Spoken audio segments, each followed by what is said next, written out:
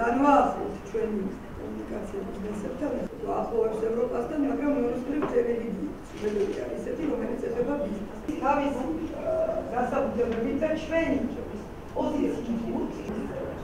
თქვენ ძლიერ გაშერებული ეს მესიჯი იქნება ძალიან ძლიერი მოტივატორი ბიზნესისთვის.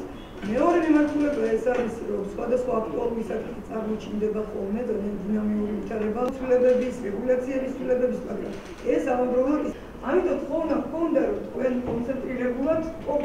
რამდენიმე ბიზნეს კონცერტი რაც იკვეთება თქვენი წევრების მხრიდან, მართლა ჩვენი პირველი შეხვედრა არ არის.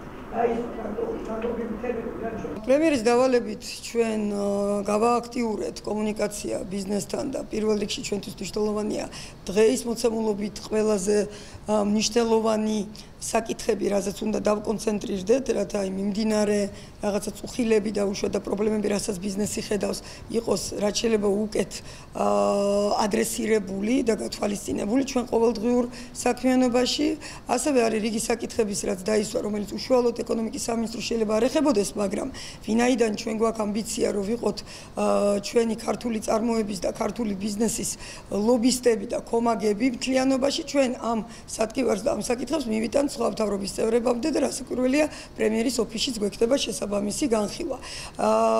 თუ მნიშვნელობის მიხედვით და ასე ვთქვათ აქცენტირების მიხედვით ტოპ 3 საკითხს გამოვყობთ პირველ რიგში ეს არის მეტი კომუნიკაცია საკანონმდებლო ცვლილებების მომზადების პროცესში და განჭრეტადობა ზოგადად და სტაბილურობა რაც აწუხებს ბიზნესს და აქ ჩვენ შევთანხმდით რომ თვეში ერთხელ ფორმატში შევიკრიბებით სხვა უწყებებთან ერთად და გავაცნობთ ბიზნეს წარმომადგენლებს თუ რა მზადდება რათა დროულად შევძლოთ კორექტირება ჩვენი გეგმების. მეორე რაც ითქვა, ყველა სურს რომ კიდევ უფრო სწრაფი გადაწყვეტილებები და ეფექტური მენეჯმენტი დაინახოს და აქაც ბევრი გვაქვს ჩვენ სამუშაო და ჩვენ გავაცანით რას ვაპირებთ თუნდაც პრივატიზაციის მიმართულებით, მაგრამ სხვა ჩვენ კოლეგებთან ერთად გავივლით მათ სტრუქტურებში რა შეიძლება აქ გაუმჯობესდეს და მესამე საკითხი არ შემიძლია არ შევეხო კლავ ეს არის ჩვენი ფულაცა საკრედიტო პოლიტიკა, ეს არის ჩვენი მონეტარული პოლიტიკა და მთლიანად ლარის კურსის თემები და აქაც ბიზნესიც უკვე ხედავს რაოდენ მნიშვნელოვანი ნაბიჯები გადაიდგა პირველ რიგში, რომ აღმასრულებელი ხელისუფლება და ეროვნული ბანკი ჭიდრო კოორდინაციაში მუშაობს ერთმანეთთან და იდგმება ნაბიჯები მიმართული იქითკენ, რომ ლარის კურსი დასტაბილურდეს და უკვე დასტაბილურდა და შემდგომში ველოდებით უფრო პოზიტიურ ტენდენციებს. The Minister of Economy today invited a group in series of uh, business associations here in Georgia to a roundtable meeting. Our German Business Association has been part of this meeting and um, I'm extremely satisfied with the content, with the idea, because today the only idea was to collect feedback. Feedback from the businesses, from the industries, on potential bottlenecks that we currently face in the further economic development of the country. If we can further improve the business climate, it will definitely have a very positive impact on the country and on the country's development. So today in this format, all the members of the associations and including uh, myself, we have expressed our various viewpoints